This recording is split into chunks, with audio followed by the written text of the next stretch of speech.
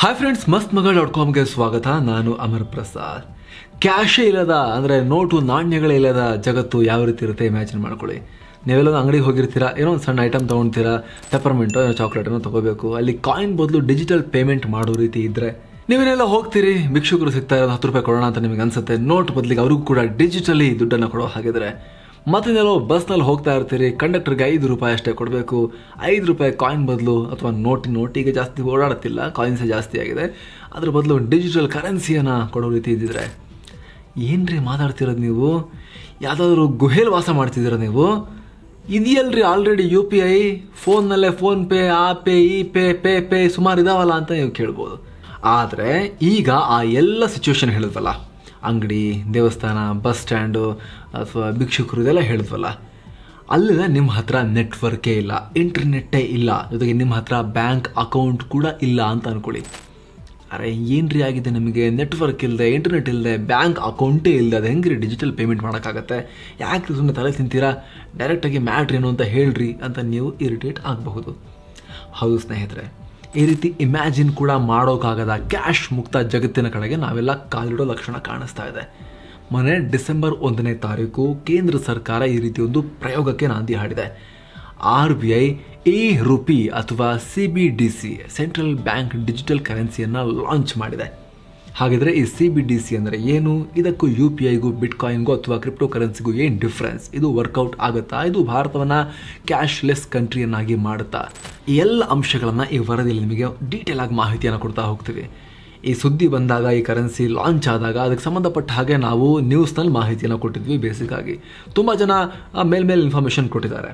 ಆದರೆ ನಾವು ಈ ವರದಿಯಲ್ಲಿ ಕಂಪ್ಲೀಟ್ ಪಿಕ್ಚರ್ನ ಇದಕ್ಕೆ ಸಂಬಂಧಪಟ್ಟ ಹಾಗೆ ನಿಮ್ಮ ಮುಂದೆ ಬಿಚ್ಚಿಡ್ತಾ ಹೋಗ್ತೀವಿ.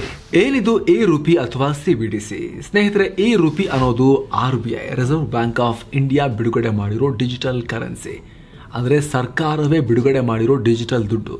ಮತ್ತೊಂದು ರೀತಿಯಲ್ಲಿ ಸರ್ಕಾರವೇ ಬಿಡುಗಡೆ ಮಾಡ್ತಿರೋ ಕ್ರಿಪ್ಟೋ ಕರೆನ್ಸಿ ಅಂತ ಕೂಡ ಹೇಳಬಹುದು. ಎಕ್ಸಾಕ್ಟ್ಲಿ ಕ್ರಿಪ್ಟೋ ಕರೆನ್ಸಿ ಅಲ್ಲ. ಯಾಕಂತ ಆಮೇಲೆ ಹೇಳ್ತೀವಿ. ಸೊ ಈ ರೀತಿ ಸರ್ಕಾರಗಳೇ ಬಿಡುಗಡೆ ಮಾಡೋ ಡಿಜಿಟಲ್ ಹಣಕ್ಕೆ ಸಿ ಬಿ ಡಿ ಸಿ ಅಂದರೆ ಸೆಂಟ್ರಲ್ ಬ್ಯಾಂಕ್ ಡಿಜಿಟಲ್ ಕರೆನ್ಸಿ ಅಂತ ನಾವು ಕರಿತಾ ಇದ್ವಿ ಈ ಕರೆನ್ಸಿಗಳಿಗೆ ಫಿಯೇಟ್ ಕರೆನ್ಸಿಗೆ ಸಮನಾದ ಮೌಲ್ಯ ಇರುತ್ತೆ. ಫಿಯೇಟ್ ಕರೆನ್ಸಿ ಅಂದರೆ ಸರ್ಕಾರ ಪ್ರಿಂಟ್ ಮಾಡ್ತಲ್ಲ ಅಫಿಷಿಯಲ್ ಕರೆನ್ಸಿ ಉದಾಹರಣೆಗೆ ನಮ್ಮಲ್ಲಿ ರುಪಿ. ಸರ್ಕಾರವೇ ಇದಕ್ಕೆ ಗ್ಯಾರಂಟಿ ಆಗಿರುತ್ತೆ. ನಿಮ್ಮ ಹತ್ರ ನೂರು ರೂಪಾಯಿ ಅಂತ ಬರೆದಿರೋ ಪೇಪರ್ ತುಂಡಿದೆ ಅಂತ ಹೇಳಿದ್ರೆ ಅದನ್ನು ತೂಕಕ್ಕೆ ಹಾಕಿದ್ರೆ ನೂರು ರೂಪಾಯಿ ಅಷ್ಟು ತೂಕ ಇರುತ್ತೆ. ಅದು ಇಲ್ಲ. ಏನು ಗ್ಯಾರಂಟಿ ಮತ್ತೆ? ಆ ಪೇಪರ್ ತುಂಡಿಗೆ ನೂರು ರೂಪಾಯಿ ಬೆಲೆ ಯಾಕೆ? ಸರ್ಕಾರ ಗ್ಯಾರಂಟಿ ಮಾಡ್ತಿರುತ್ತೆ ಆ ಬೆಲೆಯನ್ನು. ಇದನ್ನು ಸರ್ಕಾರವೇ ಕಂಟ್ರೋಲ್ ಮಾಡುತ್ತೆ. ಹೀಗಾಗಿ ಈ ಸಿ ಬಿ ಡಿ ಸಿ ಅಥವಾ ಈ ರುಪಿಗೆ ರುಪಿಗೆ ಸಮನಾದ, ರೂಪಾಯಿಗೆ ಸಮನಾದ ಮೌಲ್ಯ ಇರುತ್ತೆ. ಅಂದರೆ ಒಂದು ಈ ರುಪಿಗೆ ನಮ್ಮ ಮಾಮೂಲಿ ಒಂದು ರೂಪಾಯಿ ಸಮ ಅಂತ ಅರ್ಥ. ವ್ಯತ್ಯಾಸನೇ ಇರೋದಿಲ್ಲ. ಅದಕ್ಕೆ ಆರ್ ಬಿ ಐ ಇದನ್ನು ರೂಪಾಯಿಯ ಡಿಜಿಟಲ್ ಫಾರ್ಮ್ ಅಷ್ಟೇ ಅಂತ ಹೇಳಿದೆ. ಇದನ್ನು ಆರ್ ಬಿ ಐ ಮಾನಿಟರ್ ಮಾಡ್ತಾ ಇರೋ ಡಿಜಿಟಲ್ ವ್ಯಾಲೆಟ್ನಲ್ಲಿ ಇಟ್ಕೋಬಹುದು. ಜೊತೆಗೆ ಲೀಗಲ್ ಟೆಂಡರ್ ಅಂತ ಹೇಳ್ತಿರೋದ್ರಿಂದ ದೇಶದಲ್ಲಿ ನೋಟಿನ ರೀತಿ ಎಲ್ಲರೂ ಇದನ್ನು ಅಕ್ಸೆಪ್ಟ್ ಮಾಡಲೇಬೇಕು. ಈ ರೀತಿ ಈಗಾಗಲೇ ನೈಜೀರಿಯಾ ಸೇರಿದಂತೆ ಕೆಲ ಚಿಕ್ಕ ಪುಟ್ಟ ದ್ವೀಪ ರಾಷ್ಟ್ರಗಳು ಸೇರಿ ಒಟ್ಟು ಒಂಬತ್ತು ದೇಶಗಳು ಸಿ ಬಿ ಡಿ ಸಿಯನ್ನು ಹೊಂದಿವೆ. ಚೀನಾ ಕೂಡ ತನ್ನ ಡಿಜಿಟಲ್ ಯುವಾನನ್ನು ಸೀಮಿತ ಮಟ್ಟದಲ್ಲಿ ಚೆಕ್ ಮಾಡ್ತಾ ಇದೆ ಎಕ್ಸ್ಪೆರಿಮೆಂಟ್ ಮಾಡ್ತಾ ಇದೆ. ಆದರೆ ಬ್ಯಾಂಕ್ನಲ್ಲಿರೋ ದುಡ್ಡಿಗೂ ಇದಕ್ಕೂ ಮೇಜರ್ ಡಿಫ್ರೆನ್ಸ್ ಏನು ಅಂದರೆ ಬ್ಯಾಂಕ್ನಲ್ಲಿರೋ ದುಡ್ಡು ಬ್ಯಾಂಕ್ನಲ್ಲಿರುತ್ತೆ. ಇದು ನಿಮ್ಮ ಪರ್ಸ್ನಲ್ಲಿ ನಿಮ್ಮ ವಾಲೆಟ್ನಲ್ಲಿರುತ್ತೆ ಈ ದುಡ್ಡು. ಆದರೆ ಡಿಜಿಟಲ್ ವಾಲೆಟ್ನಲ್ಲಿರುತ್ತೆ ಹಾಗಾಗಿ ಬಡ್ಡಿ ಗಿಡ್ಡಿ ಎಲ್ಲ ಸಿಗೋದಿಲ್ಲ. ಫೋನ್ ಪೇ ಗೂಗಲ್ ಪೇಗೂ ಈ ರೂಪಿಗೂ ಏನು ವ್ಯತ್ಯಾಸ? ಸ್ನೇಹಿತರೆ ಡಿಜಿಟಲ್ ಪೇಮೆಂಟ್ ಅನ್ನೋದು ಈಗ ನಮಗೆ ಹೊಸ ಕಾನ್ಸೆಪ್ಟ್ ಏನೂ ಅಲ್ಲ. ನಾವು ಬಳಸೋ debit card credit card net banking ಅಥವಾ ಈ ಗೂಗಲ್ ಪೇ ಫೋನ್ ಪೇ ಈ ಯು ಪಿ ಐ ಪ್ಲ್ಯಾಟ್ಫಾರ್ಮ್ಸ್ ಇದಾವಲ್ಲ ಭೀಮ್ ಇವೆಲ್ಲವೂ ಕೂಡ ಡಿಜಿಟಲ್ ಪೇಮೆಂಟ್ನ ರೂಪಗಳೇ. ಆದರೆ ಅದೆಲ್ಲ ಏನಾಗ್ತಾ ಇತ್ತು? ಹೇಳ್ತೀವಿ ನೋಡಿ. ಉದಾಹರಣೆಗೆ ಗೂಗಲ್ ಪೇ ತಗೊಳ್ಳಿ. ಅದರಲ್ಲಿ ನೀವು ನಿಮ್ಮ ಫ್ರೆಂಡ್ ಅಥವಾ ಯಾರೋ, ರಮೇಶ, ಸುರೇಶ ಯಾರೋ ಒಂದು ದೇಶ ಅಂತ ಅಂದ್ಕೊಳ್ಳಿ ಇವರಿಗೆ ನೂರು ರೂಪಾಯಿ ಕಳಿಸ್ತೀರಿ. ಮೇಲ್ನೋಟಕ್ಕೆ ಏನು ಅನಿಸುತ್ತೆ ಓ, ನಾನು ಡೈರೆಕ್ಟಾಗಿ ಸುರೇಶಂಗೆ ನೂರು ರೂಪಾಯಿ ಕೊಟ್ಟೆ ಅನಿಸುತ್ತೆ. ಆದರೆ ಆ್ಯಕ್ಚುಲಿ ಏನಾಗಿರುತ್ತೆ? ನಿಮ್ಮ ಗೂಗಲ್ ಪೇಗೆ ನಿಮ್ಮ ಬ್ಯಾಂಕ್ ಅಕೌಂಟ್ ಅಟ್ಯಾಚ್ ಆಗಿರುತ್ತೆ. ಅದರಿಂದ, ಆ ಇನ್ನೊಬ್ಬ ವ್ಯಕ್ತಿಯ ಅಕೌಂಟ್ಗೆ ಹಣ ಪಾವತಿ ಆಗಿರುತ್ತೆ ಇಲ್ಲಿ ನಿಮ್ಮ ನಡುವೆ ಎರಡು ಕಮರ್ಷಿಯಲ್ ಬ್ಯಾಂಕ್ಗಳು ಕೆಲಸ ಮಾಡ್ತಿರ್ತವೆ. ಈ ಬ್ಯಾಂಕ್ಗಳು ಈ ರೀತಿ ನಡೆಯೋ ಕೋಟ್ಯಾಂತರ ಟ್ರಾನ್ಸಾಕ್ಷನ್ಗಳನ್ನು ತಮ್ಮ ಲೆಡ್ಜರ್ನಲ್ಲಿ ರೆಕಾರ್ಡ್ ಮಾಡಿಕೊಂಡು ನಂತರ ಅದನ್ನು ಆರ್ ಬಿ ಐಗೆ ತಿಳಿಸ್ತವೆ. ಆದರೆ ಈ ಈ ರೂಪಿಯಲ್ಲಿ ಆ ಕೊಂಡಿಯನ್ನೇ ಕಳಚಲಾಗ್ತಾ ಇದೆ. ಬ್ಯಾಂಕ್ಗಳೇ ಬೇಡ. ಉದಾಹರಣೆಗೆ ನಿಮ್ಮ ಹತ್ರ ನೂರು ರೂಪಾಯಿ ನೋಟ್ ಇದೆ. ಅದನ್ನು ಸುರೇಶನಿಗೆ ಕೊಡುವಾಗ ಮತ್ತೆ ಯಾವ್ದಾದ್ರು ಬ್ಯಾಂಕ್ ಬರುತ್ತಾ? ಕ್ಯಾಶ್ ಕೊಟ್ಟಾಗ ಬ್ಯಾಂಕ್ ಬರಲ್ಲ.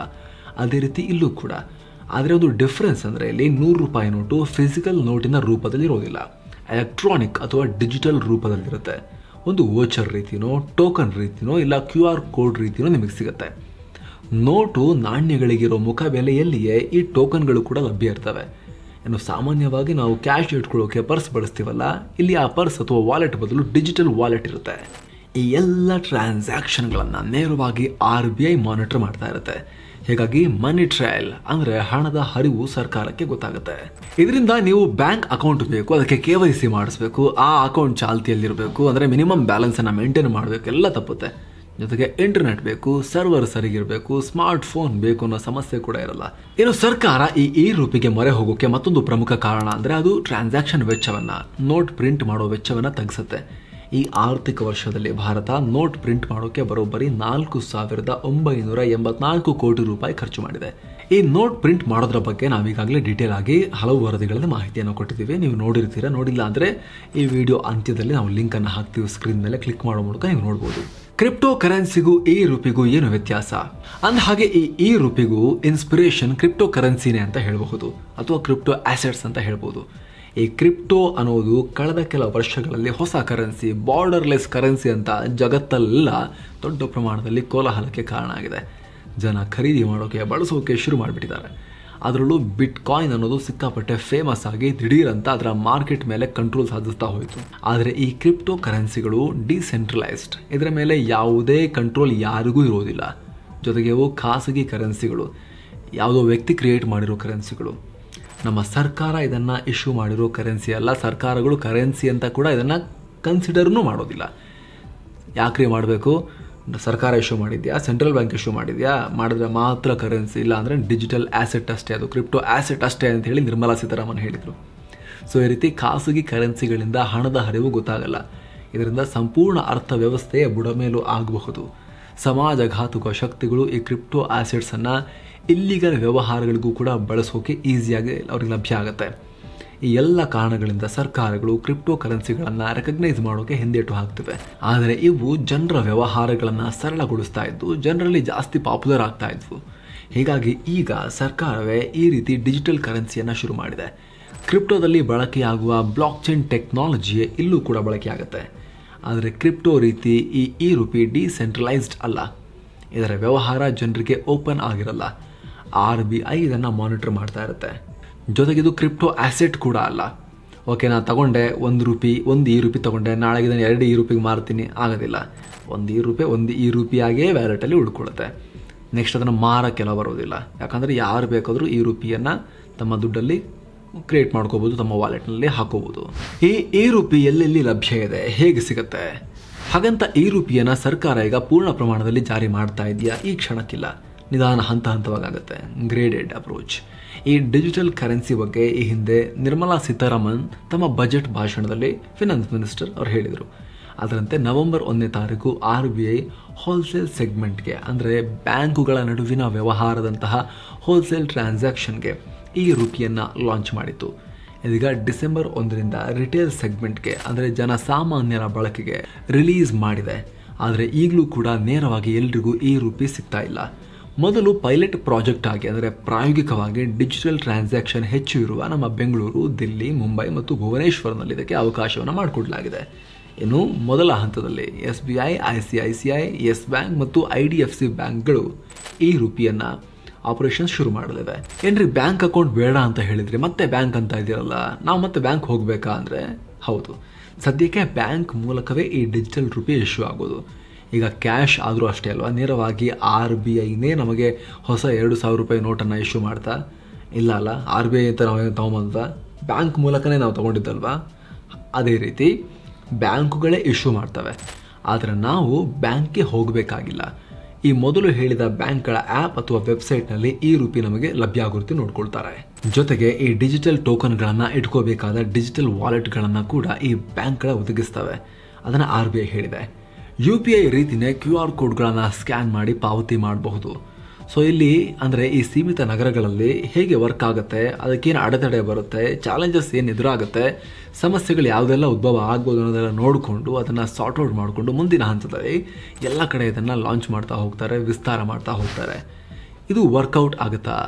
ಸ್ನೇಹಿತರೆ, ಈ ಪ್ರಶ್ನೆಗೆ ಸದ್ಯಕ್ಕೆ ಉತ್ತರ ಕೊಡೋದು ಕಷ್ಟ, ಆದರೆ ಆರ್ಥಿಕ ತಜ್ಞರ ಪ್ರಕಾರ ಇದು ಬ್ಯಾಂಕ್ ಬ್ಯಾಂಕ್ಗಳ ನಡುವಿನ ವ್ಯವಹಾರ, ಸರ್ಕಾರ ಹಾಗೂ ಬ್ಯಾಂಕ್ಗಳ ನಡುವಿನ ವ್ಯವಹಾರ. ಮತ್ತಿತರೆ ಸಂಸ್ಥೆಗಳ ವ್ಯವಹಾರಗಳಲ್ಲಿ ಸಾಕಷ್ಟು ಲಾಭದಾಯಕ ಆಗುತ್ತೆ. ಅವರ ವೆಚ್ಚವನ್ನು ತಗ್ಗಿಸುತ್ತೆ ಅಂತ ಹೇಳ್ತಿದ್ದಾರೆ. ಆದರೆ ಜನಸಾಮಾನ್ಯರ ಬಳಕೆಯಲ್ಲಿ ಸಕ್ಸಸ್ ಆಗೋದು ಡೌಟ್ ಅಂತ ಹೇಳಲಾಗ್ತಾ ಇದೆ. ಯಾಕಂದರೆ ಈಗಾಗಲೇ ಯು ಪಿ ಐ ನಮ್ಮಲ್ಲಿ ದೊಡ್ಡ ಮಟ್ಟದಲ್ಲಿ ಬೆಳೆದಾಗ ಹೋಗಿದೆ ಬಹುತೇಕ ಜನ ಯು ಪಿ ಐ ಯೂಸ್ ಮಾಡ್ತಿದ್ದಾರೆ. ಈಸಿ ಟು ಯೂಸ್ ಬಂದಿದೆ. ಕ್ಯಾಶ್ ಆ ಕಾರ್ಡ ಅಂತ ಕೇಳ್ತಾರೆ ಅಭ್ಯಾಸ ಪಾಪ ಕ್ಯಾಶ್ ಕೌಂಟರ್ ಇರೋರಿಗೆ. ಇಲ್ಲ ಸ್ಕ್ಯಾನ್ ಅಂತ ಹೇಳ್ತಾರೆ ಅಲ್ಲೋಗಿ ನಿಂತಿರೋರು. ಆ ರೀತಿಯ ಟ್ರೆಂಡ್ ನಾವೀಗ ನೋಡ್ತಾ ಇದ್ದೀವಿ. ಜೊತೆಗೆ ಇದು ಫ್ರೀ ಕೂಡ ಇದೆ. ಹಾಗೆ ಯು ಪಿ ಐ ಲೈಟ್ ಕೂಡ ಬಂದಿದೆ. ಯು ಪಿ ಐ ಲೈಟ್ನಲ್ಲಿ ಈ ನಾವೆಲ್ಲ ಇದರ ಗುಣಲಕ್ಷಣಗಳನ್ನು ಹೇಳಿದ್ವಲ್ಲ ಇಂಟರ್ನೆಟ್ ಇಲ್ಲದೆ ಟ್ರಾನ್ಸಾಕ್ಷನ್ ಮಾಡ್ಬೋದು ವಾಲೆಟ್ ಟು ವಾಲೆಟ್ ಟ್ರಾನ್ಸಾಕ್ಷನ್ ಮಾಡ್ಬೋದು ಅಂತ ಅದೇ ಫೀಚರ್ನೊಂದಿಗೆ ಯು ಪಿ ಐ ಲೈಟ್ ಕೂಡ ಬಂದಿದೆ. ಎಲ್ಲ ಕಡೆ ಅದು ಕೂಡ ನಿಧಾನಕ್ಕೆ ಸ್ಪ್ರೆಡ್ ಆಗ್ತಾ ಇದೆ. ಹೀಗಿರುವಾಗ ಅವ್ರು ಯಾಕೆ ಮತ್ತೆ ಈ ರುಪಿಯನ್ನು ಯಾಕೆ ಜನ ಬಳಸ್ತಾರೆ ತಜ್ಞರು ಪ್ರಶ್ನೆ ಕೇಳ್ತಿದ್ದಾರೆ. ಸೊ ಈಗಲೇ ಇದರ ಭವಿಷ್ಯವನ್ನು ಡಿಸೈಡ್ ಮಾಡೋದು ಕಷ್ಟ. ಏನು ಬ್ಯಾಂಕ್ಗಳು ಕೂಡ ಈ ರೂಪಿಗೆ ಸಹಕಾರ ಕೊಡ್ತಾವ ಚೆನ್ನಾಗಿ ಅನ್ನೋದು ಡೌಟ್ ಇದೆ. ಯಾಕಂದರೆ ಈ ಡಿಜಿಟಲ್ ಕರೆನ್ಸಿ ಬಂದರೆ ಜಾಸ್ತಿ ಬಳಕೆ ಆಗೋಕೆ ಶುರು ಆಗಿಬಿಟ್ರೆ ದೊಡ್ಡ ಪ್ರಮಾಣದಲ್ಲಿ. ಜನ ವಿದೌಟ್ ಬ್ಯಾಂಕ್ ಟ್ರಾನ್ಸಾಕ್ಷನ್ ಮಾಡೋಕೆ ಶುರು ಮಾಡಿಬಿಡ್ತಾರೆ. ಬ್ಯಾಂಕ್ಗಳೊಂದಿಗಿನ ಜನರ ಸಂಬಂಧ ಕಮ್ಮಿ ಆಗ್ತಾ ಬರ್ಬೋದು. ಬ್ಯಾಂಕ್ಗಳಿಗೆ ಹಣದ ಹರಿವೆ ಕಮ್ಮಿ ಆಗ್ತಾ ಹೋಗಬಹುದು. ಇದರಿಂದ ಬ್ಯಾಂಕ್ನ ಟೋಟಲ್ ಫಂಕ್ಷನ್ ಇದೆಯಲ್ಲ? ಡೆಪಾಸಿಟ್ ಇಟ್ಕೊಳ್ಳೋದು, ಸಾಲ ಕೊಡೋದು, ಬಡ್ಡಿಯ ಮೂಲಕ ಲಾಭ ಮಾಡ್ಕೊಳ್ಳೋದು ಈ ಬ್ಯಾಂಕ್ನ ಟೋಟಲ್ ಕಾನ್ಸೆಪ್ಟ್ಗೆನೆ ನಿಧಾನಕ್ಕೆ ಪೆಟ್ಟು ಬೀಳೋಕೆ ಶುರುವಾಗಬಹುದು. ಈ ಎಲ್ಲ ಆತಂಕಗಳು ಬ್ಯಾಂಕ್ಗಳು ಕೂಡ ಇವೆ. ಸೊ ಫ್ರೆಂಡ್ಸ್ ಇದಾಗಿತ್ತು ಈ ರುಪಿ ಅನ್ನೋ ಈ ಕ್ರಿಪ್ಟೋ ಕರೆನ್ಸಿ ಬಗ್ಗೆ. ಅಂದರೆ ಅಫಿಷಿಯಲ್ ಕ್ರಿಪ್ಟೋ ಕರೆನ್ಸಿಗೆ ಸಂಬಂಧಪಟ್ಟ ಹಾಗೆ ಡೀಟೇಲ್ ನೀಡೋ ಪ್ರಯತ್ನ, ಮಾಹಿತಿ ಕೊಡೋ ಪ್ರಯತ್ನ. ಈ ಬಗ್ಗೆ ನಿಮ್ಮ ಅಭಿಪ್ರಾಯನೂ ಕಮೆಂಟ್ ಮಾಡಿ ತಿಳಿಸಿ. ಥ್ಯಾಂಕ್ ಯು ಸೋ ಮಚ್ ಮತ್ತೆ ಮತ್ತೆ ಭೇಟಿ ಆಗ್ತಿರೋಣ. ನಮಸ್ತೆ.